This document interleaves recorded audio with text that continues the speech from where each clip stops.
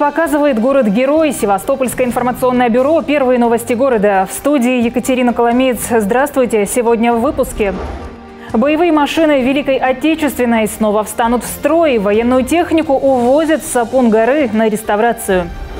Московский скульптор Виктор Королев завершил работу над мраморными львами, которые украсят Матросский бульвар. Сейчас в столице продумывают схему их транспортировки в Севастополь. В законодательном собрании города решали судьбу обманутых севастопольцев. Пенсионеры доверили замену электросчетчиков мошенникам. До конца года в Севастополе отремонтируют 300 подъездов из полутора тысяч, запланированных на 2019 год. Качество таких работ проверяют чиновники городского правительства. Балаклавская скорая помощь теперь будет базироваться в районе проспекта генерала Острякова. Место девятой подстанции займет Центр медицины катастроф. Военную технику времен Великой Отечественной увозят с Сапун-горы на реставрацию. Так, Севастопольский военно-исторический музей-заповедник начинает подготовку к параду в честь 75-летия Победы. Работы предстоит много, еще непонятно, что именно получится восстановить. Независимое телевидение Севастополя засняло эксклюзивные кадры сложной военной операции. Более полувека на постаментах. Танки и самоходные артиллерийские установки стали частью экспозиции музейного комплекса на Сапун-горе в 60-х годах. Сюда они попали со складов воинских частей. Все это время техника стояла на постаментах под открытым небом. Дожди, морозы, перепады температуры – все это сильно сказалось на боевых машинах. За украинский период истории Севастополя они сильно обветшали. Но теперь у танков и САУ снова есть шанс вернуться в строй. В этом году мы поставили для себя задачу э, восстановить по возможности э, технику, которая еще не находится на своем ходу. Вот, э, у нас налажено тесное взаимодействие с бронетанковой службой Черноморского флота, которая нам помогает в восстановлении нашей техники. Стальным ветеранам снова хотят дать возможность пройти в строю по центральным улицам Севастополя в 75-ю годовщину Победы. Успешный опыт уже есть. В 2018-м впервые отреставрировали легендарный танк Т-34. В этом году специалистам флота удалось реанимировать тяжелый танк ИС-2, среднюю самоходную артиллерийскую установку Су-100 и БМ-13 «Катюшу». Сегодня мы планировали три единицы из бронетанковых э, экспонатов вывести. Вот. И планируется еще восстановление «Катюши» знаменитой нашей и автомобиля с прожекторной установкой. Первым делом специалисты вскрывают люки на башнях. Уже это непросто. Искры летят во все стороны. Восстановленная САУ первой самостоятельно съезжает со своего пьедестала.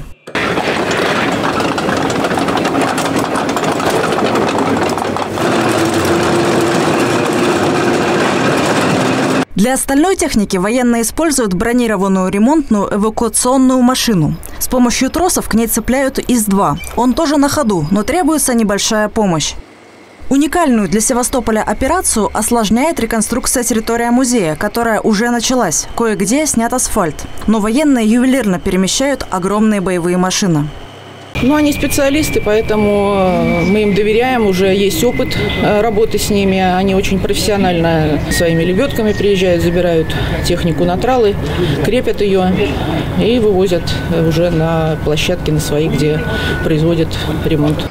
Ремонтная база находится в Симферополе. Только после тщательного осмотра специалисты сделают вывод, какое оружие Победы получится реанимировать. При необходимости будут восстановлены или изготовлены изношенные детали.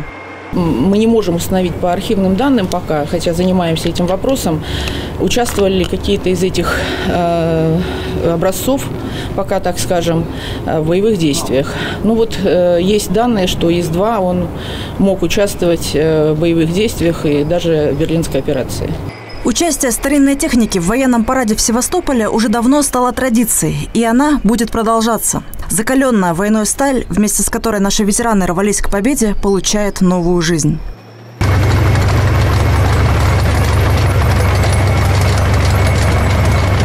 Людмила Замятина, Дмитрий Фомин, Севинформбюро.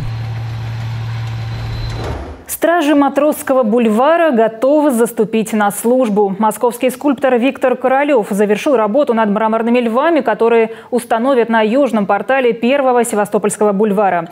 Это копии скульптур, украшающих Графскую пристань. На создание двух величественных фигур мастеру потребовалось около 14 месяцев. Работа шла непросто, признается Виктор Королев. Дело в особенностях карарского мрамора, из которого были высечены львы.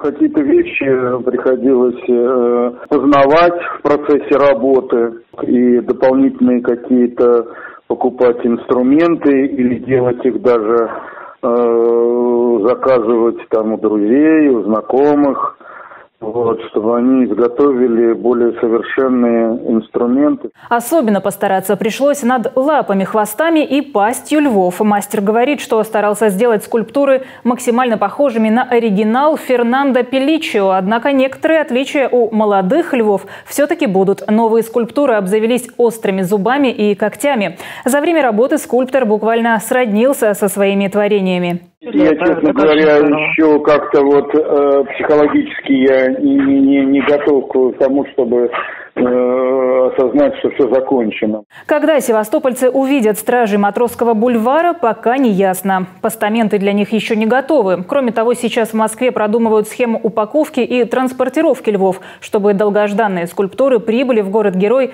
в целости и сохранности.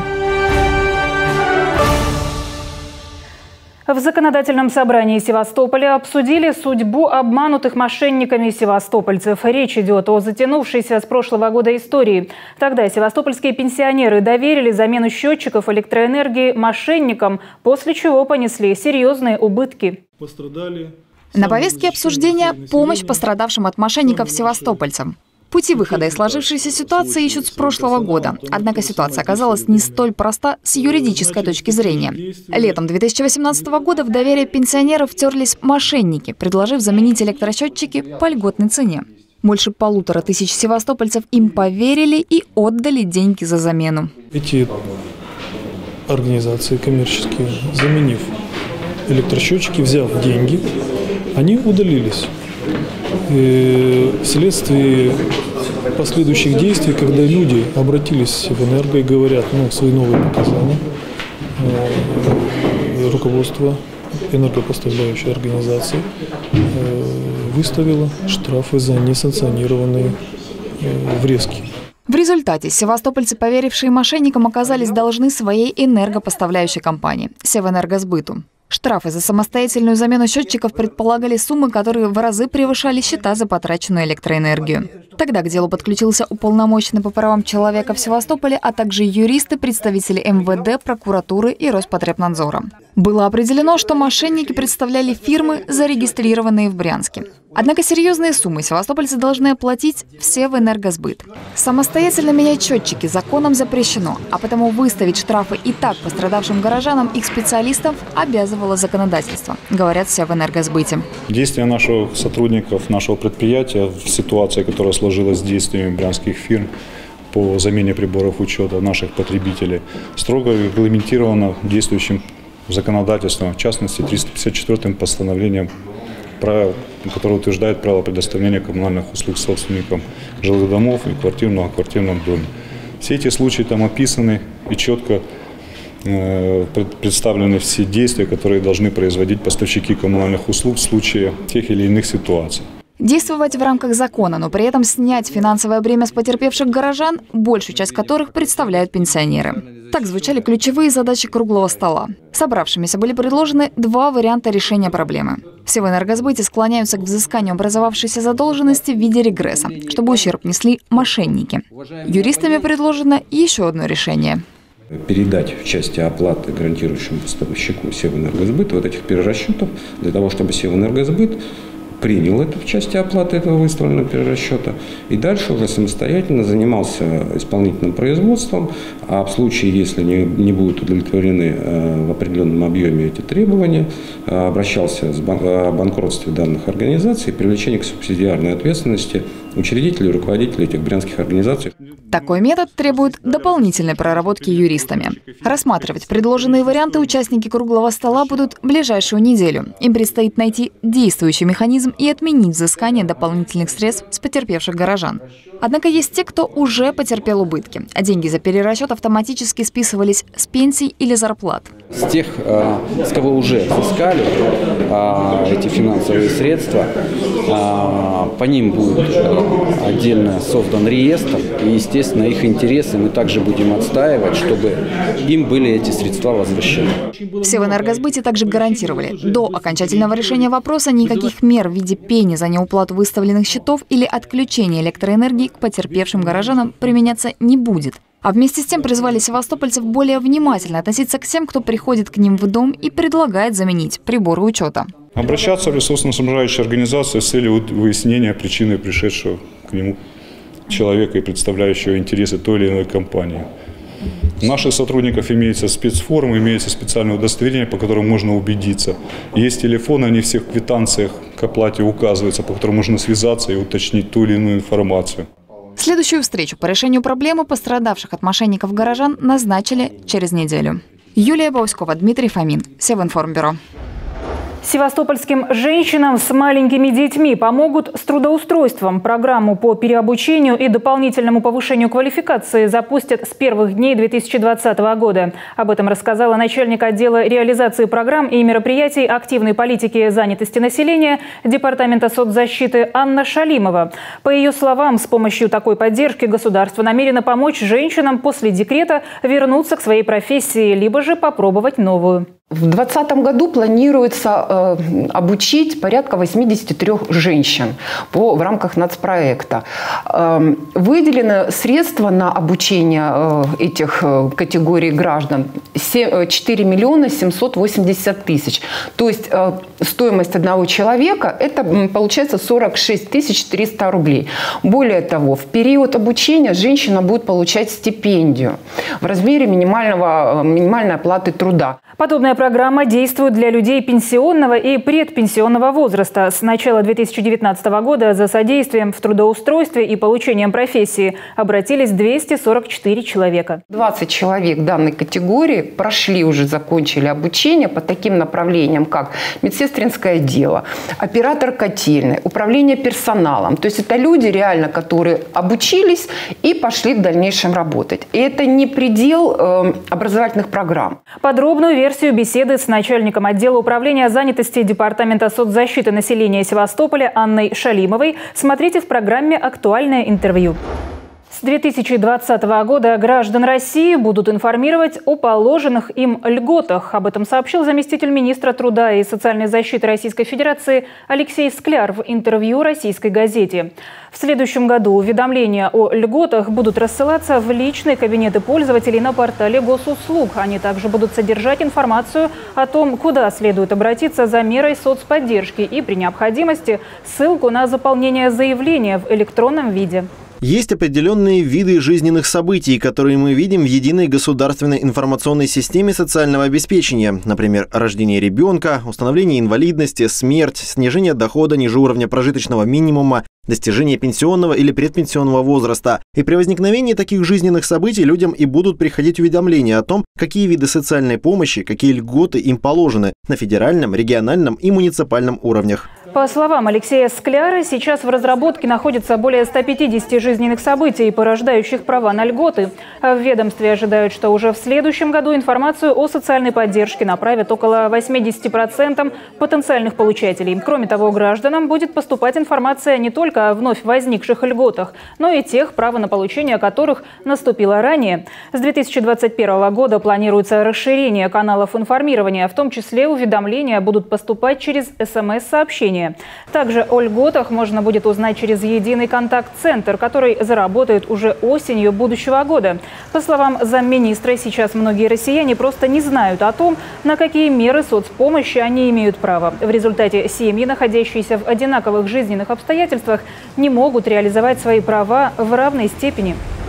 Севастопольская местная организация Всероссийского общества слепых сможет получить в безвозмездное пользование землю, на которой находится ее здание. Об этом в ходе рабочей встречи сообщил депутат Государственной Думы от Севастополя Дмитрий Белик.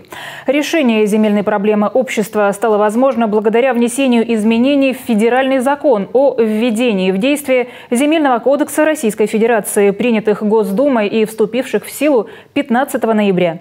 Он две недели назад вступил в силу, который очень четко определяет, что землю под имущественными э, комплексами, под зданиями, сооружениями, находящиеся на балансе у организаций инвалидов, любых, эти организации могут оформить совершенно бесплатно и безвозмездно. То есть эта земля будет в собственности у этих предприятий, они не будут за, них, за нее платить. После 2014 года у Севастопольской организации появилась проблема, связанная с тем, что ее имущество принадлежало Украинскому обществу слепых, а правительство города не принимало решения о передаче его на баланс Всероссийской организации. В 2018 году проблема со зданиями на улице Гоголя 30 была решена, но для передачи в собственность земель был необходим отдельный правовой механизм. Сегодня в Севастопольской организации состоят 243 человека. Из них около 15 задействованы на производстве. Планируется наращивать производство, его расширять.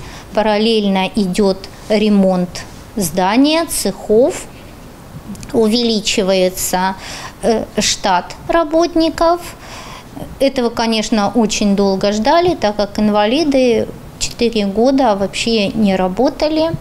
И мы надеемся, что мы сможем обеспечить работой большее количество инвалидов.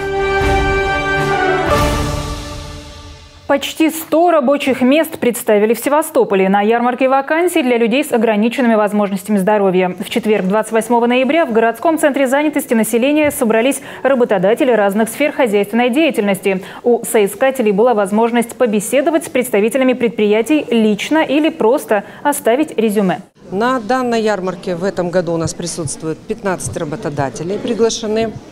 Работодатели предоставили 60 э, вакансий на 98 рабочих мест. Это и диспетчеры, и операторы, инженеры, врачи, учителя. Несмотря на то, что граждане, ну, граждане имеют ограниченные возможности трудоустройства, но есть те вакансии, э, и, вернее, те профессии, которые предполагают именно работу граждан с инвалидностью. Каждое предприятие, у которых численность превышает 35 Э, граждан, э, численность превышает 35 человек, предоставляют отчеты о квотировании. Благодаря таким специализированным ярмаркам у людей с ограниченными возможностями здоровья появляется возможность трудиться на предприятиях наравне со всеми и не выпадать из социума, подытожила Ирина Исаева. В образовательном центре в Казачьей бухте заработает первый в городе школьный стоматологический кабинет. Об этом телеканалу НТС рассказала главный врач Севастопольской детской стоматологической поликлиники, главный внештатный детский стоматолог Департамента здравоохранения правительства Севастополя Татьяна Мочалова. Это единственная школа, как вы знаете, которая в последнее время у нас вступила в строй, хотя уже достаточно давно. Но не рабочее состояние кабинета было связано с тем, что мы сейчас в настоящее время проводим лицензирование. Ведь только лицензированный кабинет позволит нам проводить определенные мероприятия в этой школе. Детский кабинет пока откроют только в одной школе. Его оборудуют новейшей стоматологической установкой, отметила Татьяна Мочалова. Она очень хорошая, и такого плана даже в поликлинике у нас нет. Точно так же обеспечивается стерилизация, обеспечивается контроль за стерильностью и под э, юрисдикцией нашей поликлиники. То есть мы полностью несем ответственность за все, что там будет делаться. В школьном стоматологическом кабинете будут вести прием один врач и одна медсестра. Кроме профосмотров, с согласия родителей будет проводиться лечение кариеса у детей. Те детки, которые будут учиться в школе, они практически не будут вообще нуждаться в посещении поликлиники. Кроме того, в обязанности детского стоматолога входит обязательно и знание основ ортодонтии. То есть врач посмотрит и скажет, нужно ли ему исправлять зубки нужно ли обращаться в дальнейшем к ортодонту. Детского стоматолога в школьном кабинете будут посещать не только ученики школы в Казачьей бухте, но и воспитанники прилегающего к учреждению детского сада. Всего около 1700 детей. Руководство Департамента здравоохранения правительства Севастополя проверяет информацию о враче, который посоветовал пациентке съездить к мощам святителя Луки для исцеления. Об этом независимому телевидению Севастополя сообщили в пресс-службе Севздрава. В среду в телеграм-канале «Подъем» появилось фото рецепта от ларинголога Юрия Белоненко, где врач в случае неэффективности назначенного лечения порекомендовал пациентке съездить к мощам святителя Луки в Симферополь. Этот случай уже широко обсуждается в интернете. Однако, как видно на фото, рецепт был выписан еще в августе. Непонятно, почему история появилась только сейчас. К слову, доктора Юрия Белоненко коллеги характеризуют как грамотного врача, спокойного и терпеливого человека. Однако, как нам стало известно, в тот момент в поликлинике, обслуживающей более 25 тысяч человек, остался работать единственный врач-отоларинголог, а количество пациентов не уменьшилось. Накануне Всемирного дня борьбы со СПИДом 28 ноября на площади Нахимова развернулась мобильная амбулатория, в которой каждый желающий мог пройти тест на выявление ВИЧ-инфекции. Узнать результат можно уже через 5-10 минут. Перед проведением анализа врачи проводят профилактическую беседу, рассказывают о путях заболевания и рисках инфицирования. По словам заведующей амбулаторно-поликлиническим отделением Центра профилактики и борьбы со СПИДом Елены Вербинец, тестирование прошли около 200 желающих. У двух врачей обнаружили вирус иммунодефицита человека. А как показывает вот сегодняшнее тестирование, что эта акция доказала свою эффективность, очень много людей, которые хотели обследоваться на ВИЧ-инфекцию. Тем более что в этом году мы проводим обследование экспресс-тестами по слюне. Это не инвазивный метод, он очень удобен. Вот, не надо прокалывать там пальчик, брать кровь, достаточно по слюне определить, имеется или нет ВИЧ-инфекция. Всего на учете в Севастопольском центре профилактики и борьбы со СПИДом состоят 2322 человека в возрасте от 28 до 45 лет. Чаще всего вирус иммунодефицита человека передается половым путем, говорит Елена Вербенец. Поэтому в этом году впервые людям, прошедшим тест, выдавали средства контрацепции. Также рядом с мобильной амбулаторией работали специалисты организации «Гавань Плюс», которая оказывает социально-психологическую помощь людям, впервые услышавшим свой диагноз и помогает им смириться с положительным ВИЧ-статусом. Большое количество людей, э, которые живут с ВИЧ, э, это люди достаточно успешные по жизни. Их состояние совершенно не мешает им при условии, что они ну, при... принимают РВ-терапию, э, антиретровирусную терапию. Это не мешает им жить, не мешает им заводить семьи. Человек может родить здорового ребенка, не заразить своего партнера. И бояться здесь нужно не знание о том, что ты инфицирован, а скорее незнание о том, что ну, такая вероятность имеет быть. Те, кто не успел пройти тестирование на выявление ВИЧ-инфекции, могут в любой день пройти обследование в Севастопольском центре профилактики и борьбы со СПИДом. Бесплатно каждый будний день с 10 утра до 14 часов. Охват ВИЧ-тестирования в Севастополе за последние пять лет увеличился с 6 до 25 процентов. Добиться таких результатов удалось благодаря повышенной осведомленности населения о вирусе иммунодефицита человека и увеличению количества ежегодных бесплатных анализов. Об этом рассказала главный врач Севастопольской инфекционной больницы Инга Матяш. Она пояснила, в обществе до сих пор сохраняется подозрительное и боязливое отношение к ВИЧ-инфицированным. И это неправильно. Сейчас уже ничего страшного в этом нет. ВИЧ передается через кровь, э, через э, какие-то ну, загрязненные шприцы. Интересно наблюдать за расширенными глазами молодых девчонок, которые ну, они не знали, что ВИЧ не передается через поцелуи, не передается через рукопожатие. Современные медикаменты, антиретровирусные препараты при регулярном употреблении позволяют жить полноценной жизнью. При этом всю необходимую терапию зараженный ВИЧ-человек может получить абсолютно бесплатно американские ученые проводили исследования. Значит, человек полностью здоровый, у которого нет ВИЧа, живет определенное количество лет, ну, в среднем, да, и человек, который принимает антиретровирусную терапию, если он начал ее принимать на ранних стадиях ВИЧ-инфекции, он проживает столько же. Подробнее о том, почему важно проходить ВИЧ-обследование, как лечат больных вирусом от туберкулеза и чем опасны ВИЧ-диссиденты, смотрите в программе «Актуальное интервью». Персонал модульной подстанции скорой медицинской помощи в Балаклаве переезжает на новое место работы. Теперь они будут базироваться в районе проспекта генерала Острякова. А помещение подстанции в Балаклаве займет Центр медицины катастроф, который будет оказывать оперативную помощь жертвам ДТП. Такое заявление сделал заместитель губернатора Севастополя Александр Кулагин. Две общепрофильные бригады Балаклавской подстанции переводятся на улицу Лоцманскую. Там, где у нас сейчас находится вторая подстанция скорой помощи. Она полностью будет э, обрабатывать все вызовы, в том числе и балаклавы. Э, проведены экспериментальные э, исследования по времени доезда, то есть в те нормативы, которые определены приказом Министерства здравоохранения, все укладывается. Напомним, ранее в социальных сетях появилась информация о том, что Балаклавскую подстанцию ликвидируют, оставляя этот район города без своей скорой. Люди выражали опасения, что теперь бригады будут ехать только из Севастополя, что приведет к увеличению ожидания бригады скорой помощи. Александр Кулагин заверил, что медики Центра катастроф будут помогать обслуживать население Балаклавы то это не просто будут стоять две машины и ожидать, когда произойдут какие-нибудь чрезвычайные ситуации. По э, заверению главного врача скорой медицинской помощи нашей, эти машины также будут использоваться для линейных вызовов в случае нехватки бригад, которые у нас действуют вот, э, э в других районах. Центр медицины катастроф для оказания оперативной помощи жертвам ДТП начнет свою работу в Севастополе с понедельника. Работать там будут две бригады на двух автомобилях. Это не наше такое, не просто наше желание или наша потребность, это требование правительства Российской Федерации обеспечить а, в том числе и своевременный выезд на дорожно-транспортные происшествия для того, чтобы вот концепцию нулевой смертности на дорогах ее действительно реализовать. После создания полноценного функционального медицинского комплекса в районе Фиолентовской объездной персонал Балаклавской скорой помощи начнет свою работу в новых корпусах, а до тех пор придется довольствоваться имеющимися условиями. На э, Лоцманской мы обсуждали ситуацию. Конечно же, там бытовые условия не самые лучшие. Э, там недостаток э, мощности электрического снабжения. Там не все лампочки даже поэтому горят.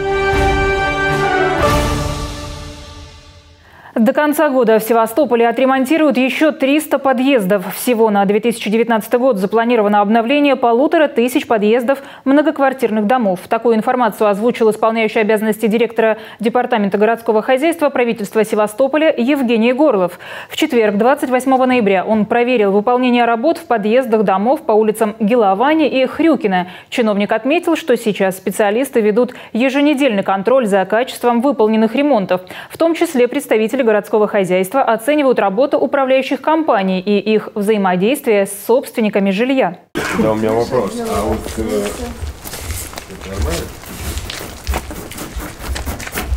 Ну, правда, покрасили, она сдвигалась все. Угу. Ну, металла обшили, а как все Глава Севастопольского горхоза Евгений Горлов лично проверяет качество выполненного ремонта в подъездах дома номер 11 по улице маршала Геловани. Дом обслуживает управляющая компания УК. Все работы на этом объекте закончились несколько месяцев назад. Однако претензий и к подрядчику, и к управляющей компании оказалось немало. Я понимаю, но это же информационный стенд. Да. Мы вчера как раз встречались по да. аварийно-диспетчерским службам. Но я здесь не смогу прочитать, кому мне позвонить. Обновим.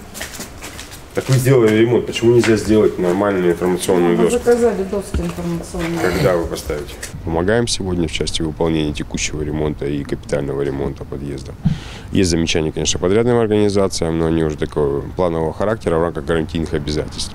А, в свою очередь обязательно требуем с управляющей компанией, чтобы работали с собственниками, чтобы принимали решения именно с собственниками в части ремонта, как э, колористических решений как будет выглядеть подъезд. Соответственно, все эти нюансы должны быть э, оговорены с собственниками. А вот по адресу Хрюкина 3 чиновника возмутила ситуация с состоянием придомовой территории. Он обратил внимание представителя УК на состояние лавочек, качелей, а также урн, которые жильцы, по всей видимости, соорудили сами. А это нормально вообще? Ну, вот вы как следите там с собственниками проговорите. А кто поставил вообще? Это же надо... Ну, это жители сами поставили. Это нормально? Но вы им что-то предложили, допустим, сделали двор, сделали проход. Ну, это новый двор. Когда сделали двор? Дорогу в прошлом году. В прошлом году.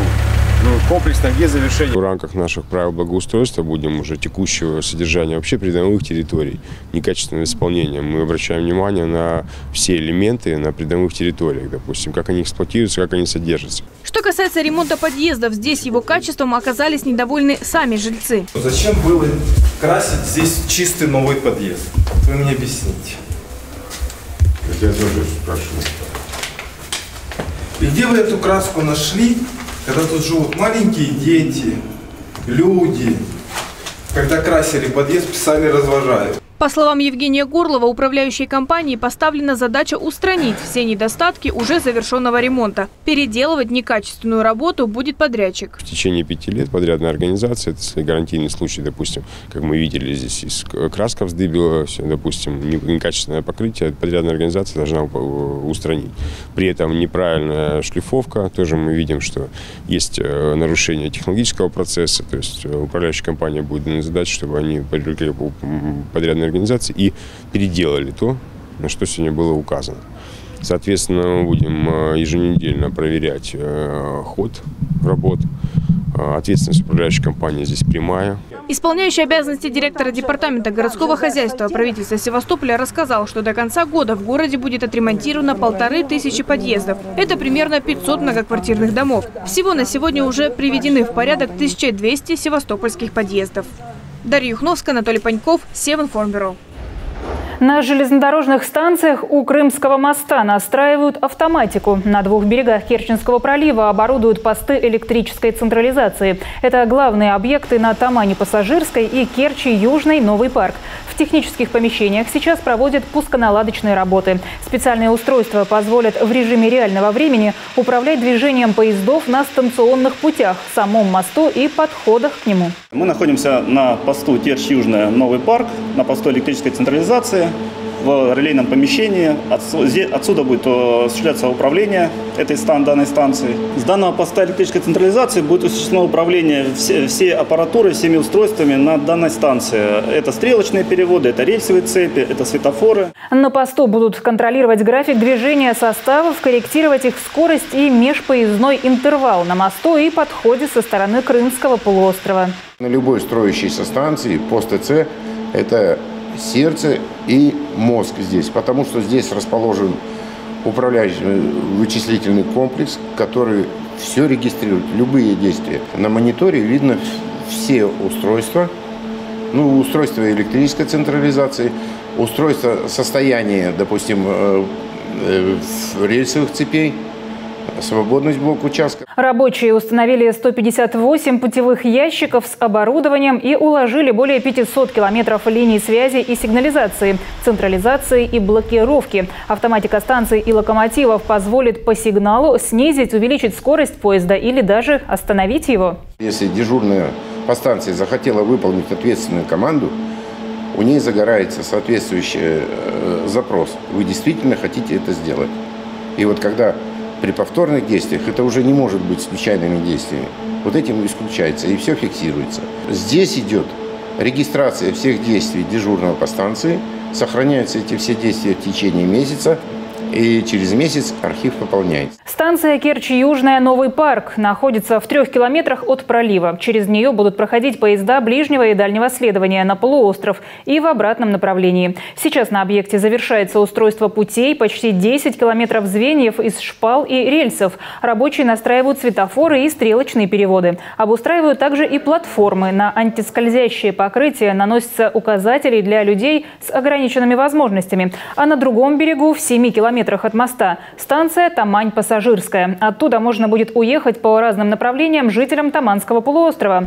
Там уже установили одноэтажный вокзал на 50 человек. Входы оснащены оборудованием для досмотра и проверки багажа в рамках обеспечения мер транспортной безопасности. Для доступа пассажиров на платформы построен пешеходный тоннель. Возле здания вокзала благоустроили площадь, оборудовали парковочные места и остановки для общественного транспорта и такси. И в завершение выпуска о погоде. По сообщению севастопольских синоптиков, в пятницу в городе будет облачно, дождь, днем временами сильный. Ветер юго-западный 12-17 метров в секунду, температура воздуха 13-15 градусов тепла. За минувшие сутки в Севастополе на свет появились 12 детей, 8 мальчиков и 4 девочки. На сегодня это все. За развитием событий следите вместе с выпусками Севинформбюро. Телефон редакции 59 2060, а также мобильный плюс 7 978 931 31. Уточнить информацию или оставить свою вы можете на нашем сайте nts-tv.com. Ждите новостей. До встречи!